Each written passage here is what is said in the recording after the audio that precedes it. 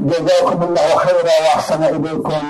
مستمع يقول ما حكم من شرب أو أكل في نهار رمضان وهو ناصم هل يقضي يومه أم كيف يتصرف؟ جزاكم الله خيرا. من أكل أو شرب وهو صائم فإن صومه صحيح. برمضان ولا يؤاخذ بالنسيان. قوله صلى الله عليه وسلم من نسي فأكل أو شرب فليتم صومه. فإنما أطعمه الله وسقاه ولقوله تعالى ربنا لا تؤاخذنا إن نسينا أو أخطأنا. ولقوله صلى الله عليه وسلم يغفر لأمتي الخطأ والنسيان والسكر عليه.